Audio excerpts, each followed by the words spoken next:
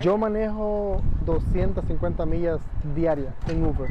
Como conductor de Uber no hay día que José Guzmán no pare en la gasolinera y vea directamente el aumento de precios por galón de combustible. Yo echaba 100 dólares de gas, hoy le pongo 250 dólares de gas a mi carro es bastante la diferencia. Legisladores de California acordaron un plan que consiste en entregar reembolsos a los hogares que ganen menos dinero, sin importar su estatus migratorio. Hay tres niveles para calificar que determinan el monto que podría recibir. Los contribuyentes individuales que ganen hasta 75 mil dólares al año recibirán 350 dólares, quienes ganen hasta 125 mil 250 y los que alcancen un salario de 250 mil dólares al año obtendrían 200 dólares. Ahora, si declaran impuestos en pareja, entonces los que ganen hasta 150 mil dólares recibirán 700 dólares de ayuda. En el siguiente nivel, si en conjunto ganan 250 mil dólares, el reembolso sería de 500 dólares. Y si juntos hacen 500 mil dólares al año, el Estado les daría un reembolso de 400 dólares.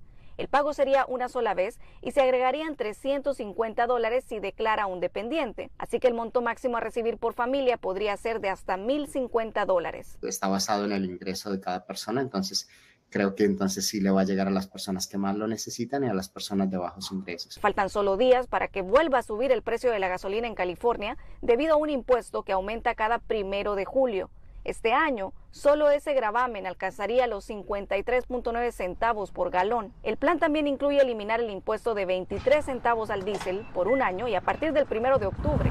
Algunos legisladores proponían algo similar con la gasolina, pero no se aprobó. Dinero en efectivo um, es mejor, pueden um, usar para renta y comida el objetivo es que estos fondos ayuden a aliviar también otros costos elevados por la inflación. Y en el caso de José, este dinero podría hacer la diferencia. Una ayuda grande para nosotros porque pues para la aseguranza de carro, los servicios celulares o todo lo electrónico que usamos nosotros, es muy importante la ayuda en este tiempo que estamos, bienvenida la que sea.